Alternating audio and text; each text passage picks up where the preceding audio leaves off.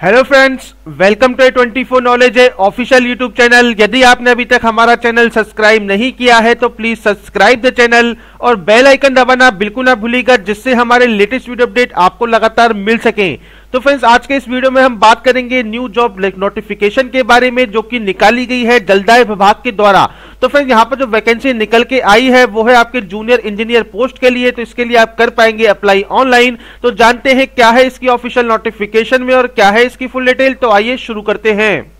तो फ्रेंड्स, इस समय हम जॉब रास्ता की ऑफिशियल वेबसाइट पे हैं तो यहाँ पर आपको Bihar PHD junior engineer recruitment 2019 की फुल डिटेल मिल जाएगी। तो सबसे पहले बात करते हैं इसके इंपोर्टेंट डेट की तो 15 जनवरी से आपके फॉर्म स्टार्ट हो चुके हैं, जो कि इकतीस तारीख तक आपके चलने वाले हैं।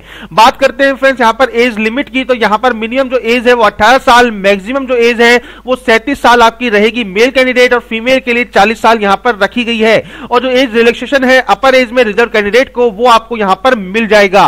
और ये जो उम्र है, वो काउंट होगी आपकी एक एक दो हज़ार उन्नीस को। बात करते हैं एप्लीकेशन फ़ीस की तो किसी के लिए भी, किसी भी कैटेगरी के लिए भी यहाँ पर कोई भी फ़ीस नहीं रखी गई है।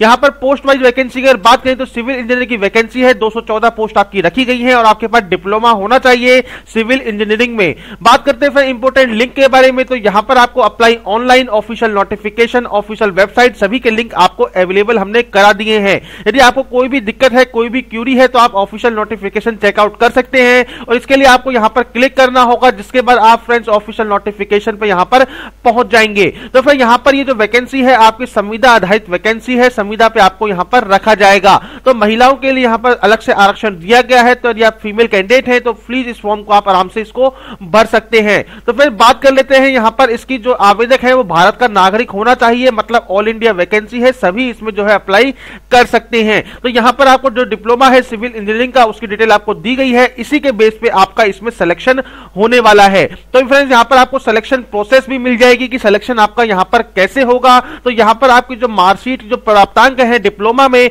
उसके आधार पर आपका यहाँ पर सिलेक्शन होने वाला है। तो उसके हिसाब से आपको सभी डिटेल यहाँ पर अवेलेबल करा दी है। यदि आप चाहें तो आराम से इसको नोटिफिकेशन में पढ़िए, और यदि आप एलिजिबल हैं और फॉर्म फिल करना चाहते हैं तो आप इसको अप्लाई कर सकते हैं।